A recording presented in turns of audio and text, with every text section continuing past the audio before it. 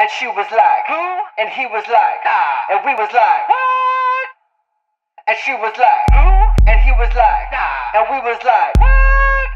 Just ask Joey. Hey, hello, and welcome to episode 23 of Just Ask Joey. I'm your host, Joey. This is the only place on the internet where a former idiot answers your questions to help you either avoid idiocy or get over your idiocy. Today's question is a really big one for hopefully avoiding idiocy because today's question is what are some tips for new parents? Some of you that follow me on Snapchat or Instagram or Twitter or Facebook know that I'm a parent. And those of you that also follow me on those social media apps also know that I'm a former idiot. So I feel that I am a pretty good person to ask what are some tips for new parents because there are some things that I did not do that I can't take back. And I wish I could, and I can't. So hopefully, this will help you avoid some of the stuff that I did because there is a famous quote that says, A smart man learns from his mistakes, or her, but a wise man learns from others' mistakes. So I think I'm smart, but I'm not wise, or I wasn't wise. So, tips for new parents. Everyone that has a kid, it's tense. Having a kid's tense. It's a lot of it's a lot of responsibility, and a lot of the questions that you're that you're thinking, you know, you're thinking about diapers and food and painting the baby's room and the names and this and that, and hopefully you're also thinking, am I going to be a good parent? And if you're thinking that, hopefully you're also thinking, uh, what steps can I do to be a good parent? Or how am I going to be a good parent? I think that's those are obviously more important questions. I mean, you want your kid to have diapers and stuff, but if you get diapers and a crappy parent. So these are some things that I think will help kind of help you with answering some of those questions. First, you start with the goal. What is the goal of parenting? I personally think that the goal of parenting is that your kid should be able to walk out of your house at 18 and be self confident, have self awareness, have problem solving skills, have grit, and humility. If they walk out with those five things, your kid's going to be all right. And that's what your kid should have. If they walk out with more questions than answers, you maybe didn't prepare them correctly. I also firmly believe that if your kid is a loser, it is your fault. 100%. I have a seven year old daughter, and if she becomes a loser, or a stripper, or a porn star, guess whose fault that is? That's my fault. I messed up. If you have a kid that's maybe an adult kid and they're a loser right now, and you're going, oh man, my kid's a freaking loser, it's your fault. I'm sorry. I know that's harsh. I know it sucks to hear, but who else's fault is it? Theirs? They don't know any better. They're a kid. They're running through life. This is the first time through. You've already been through the stuff that they've been through, and you didn't help them navigate through those through those waters. So it's your fault. There are two avenues you can take for parenting. There's either the one step approach or if you have some work to do personally, there's a two step approach. Let's start with the one step approach first. Hopefully, this is you. So, the one step approach is you need to understand that you are not perfect. I hope you already know that. Now, some of us are uh, some of us are more obviously not perfect than others. If you catch my drift, I'm trying to say that nicely. But whatever your level of perfection or whatever your lack of perfection is, your child has some of that non perfection in them. Your non perfection comes from the dad side and the mom side. That's where it all comes from. May not be you specifically, but it's somebody on your line someplace. So, the one step approach is you need to help them mitigate those imperfections those tendencies, those character flaws, You need to help mitigate those so it doesn't come back to bite them in the ass later. That's your job as a parent. You know why it's your job? Because you have brothers and sisters, you have your parents, you have your grandparents, and you have you. You've seen how personalities, how they can come together and how they can manifest themselves, how those tendencies, how those shortcomings, however you want to look at it, you can see how those have manifested themselves in your in yourself and in your family. You need to be aware enough to understand that all those genes, all those imperfections are in your kid milling around someplace. Some things will cancel out, some things may skip a generation, but the potential for whatever you see that you don't like in the in the rest of your family is in your kid and it's your job to help mitigate those shortcomings. I would love to be able to just sit here. I'm sure a lot of people would love to. You'd be rich if you could do this. Just give you a handbook for how to raise your kid. But being a parent's flexible. You got to be able to adjust. I mean, you can't even raise two kids in the same household the same because it's two different kids. It's two combinations of those genes put together and they come together in different ways. And you can't treat one the exact same way as you treat the other one. You have to be flexible. You have to see, okay, what kind of tendencies are they showing? What kind of tendencies could I see this? How do I see this little personality thing manifesting itself later? You got to be able to project out. And this is something I think a lot of parents don't do is they don't project those little things that are like, okay, it's a little whiny kid and she's, you know, not sharing and doing this or whatever now, but at 4 it's doable. But what does that look like when they're 18? What does that look like when they're 19? How does that project out? So you have to cut that crap off, nip it in the bud, because you're mitigating stuff like that from expanding and becoming something that's like that's not manageable. It's manageable now. It's manageable because they're little.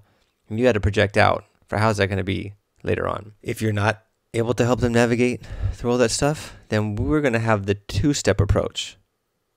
So you have to take this one step approach and scoot that which is helping them navigate through their imperfections. And now, step one for you is you need to figure out your imperfections. You need to figure out basically what is wrong with me and really look at yourself. What's wrong with my family? And really look at them really, really carefully. And you are going to ask yourself some very difficult questions. And you can either choose this is a make or break a moment for your parenting, for your kid's life, and for you as a parent. This is make or break it right now. You have to ask yourself some very hard questions, and you also have to answer them honestly. Very honestly. Because if you don't, you're never going to get to the root of it, and you're not going to help your kid out. I promise you. So, what are some questions you have to ask yourself? One, you can go to the big one what's wrong with me? What do I suck at? What am I terrible at? Are you a bad listener? Are you lazy? Are you unhealthy? Are you fat? Do you drink too much? Do you still take drugs? Are you a cheater? Are you a liar? What are your problems?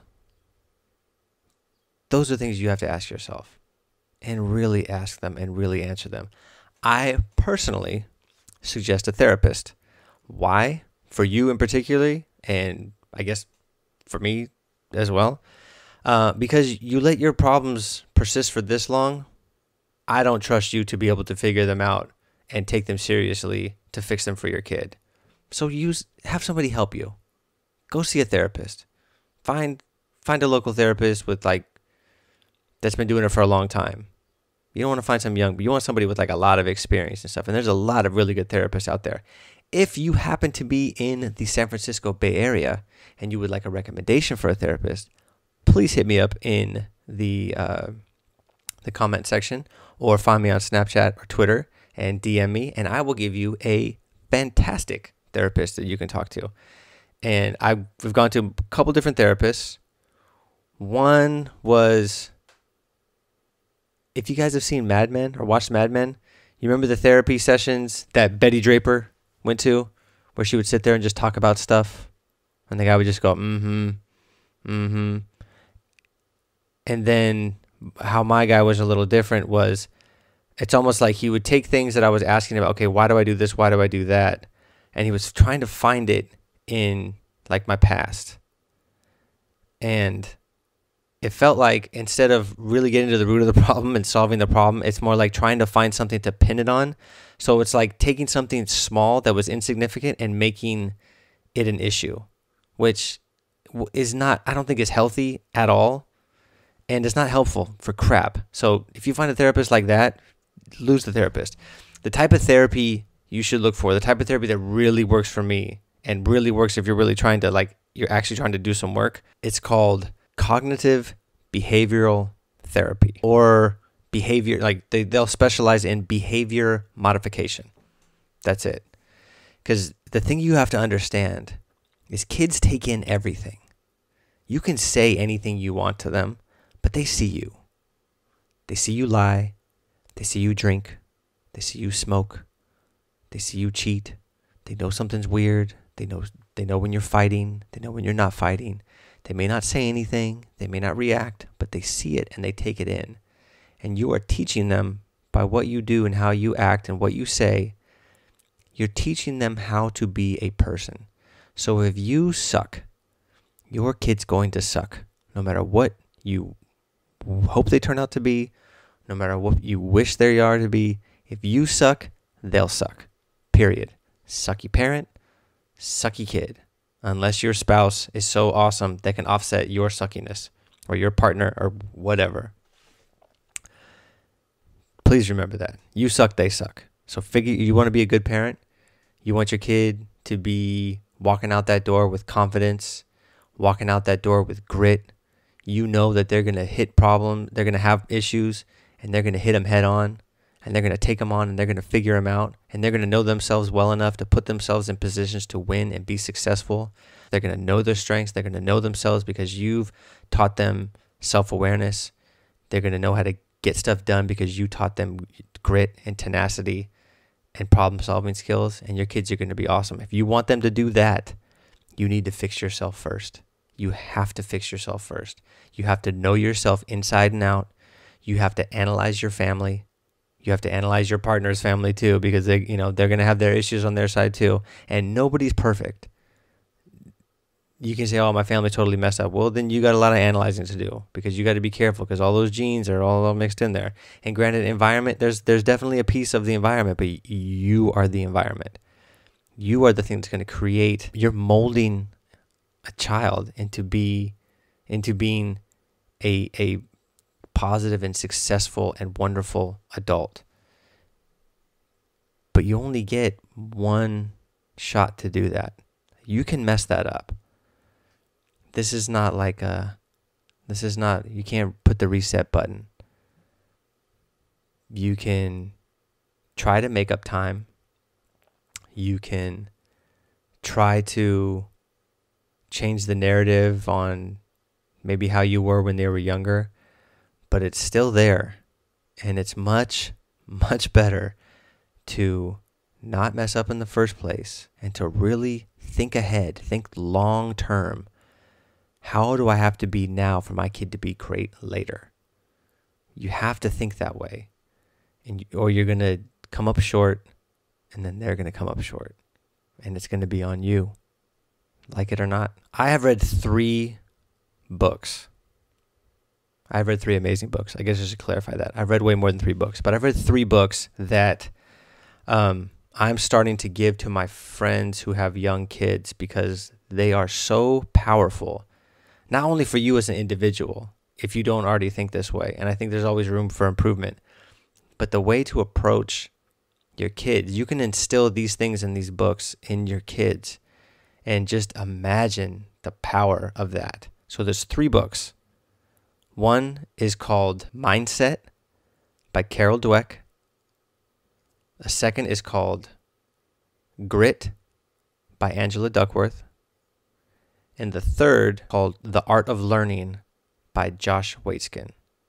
So these are the books, right? Right here. And I will link to them in the show notes. But they all go together well. They kind of cross reference sort of similar things, but they're very different in stuff that they're explaining. But it's all part of basically creating this like, it's creating that 18 year old that walks out the door and is ready to take on the world, that is ready to put in the put in the work, that's ready to lace up their boots and is ready to kick ass and they have the confidence to do it. These three books, and I'm sure there's others, but these are my favorite books for this, will help you get your kid and get your household in the right mindset to freaking kick ass. And that's what we're looking for here. We're looking for total ass kicking. I can't stress enough the power of doing it right the first time. If you're listening to this because you messed up, like me, you realize how valuable not messing up would be. You realize as you're figuring yourself out now, as you're becoming better than you've ever been before, you're going to find yourself going, man, I really wasted a crap load of time not being on point. And that's the biggest thing when you have a kid is you as a parent need to be on point. You have to because this you are responsible for this life. And you're responsible for creating a life for that person that is allowing them to be successful. And we live in a great time where there is access for pretty much everyone. There's access to everything. All you need is a phone and some like writing skills, and you can pretty much attack anything. In the same token, there's also more access to stuff, which means if you're not in the right frame of mind and you're not in the right mindset, you could completely F yourself and your kids up because there's too much to get into. So if you are not aware of your weaknesses and you're not aware of your tendencies and you don't instill that in your kids and teach them the right values, teach them the importance of character and focus on their strengths and recognize their weaknesses and all those things, there's a huge, big, wide world out there that is going to swallow them up. So please do it right the first time. If you guys have any suggestions for books, I would love to hear them. Um, please put them in the comment section below. If you're enjoying these, please share them. Share them with your friends. Uh, subscribe on iTunes. Subscribe on SoundCloud. Subscribe on on YouTube. Leave comments in the section. Um, leave a review, please, on iTunes if um, if you're enjoying this. And if you have any questions, please shoot them to me. I'm always looking for something that I think is going to help a wide uh, wide range of people, and that's what this entire podcast is about. It's about helping people from one idiot to hopefully not another idiot. I'll see you guys on Friday. And she was like, Who? And he was like, Nah. And we was like, What?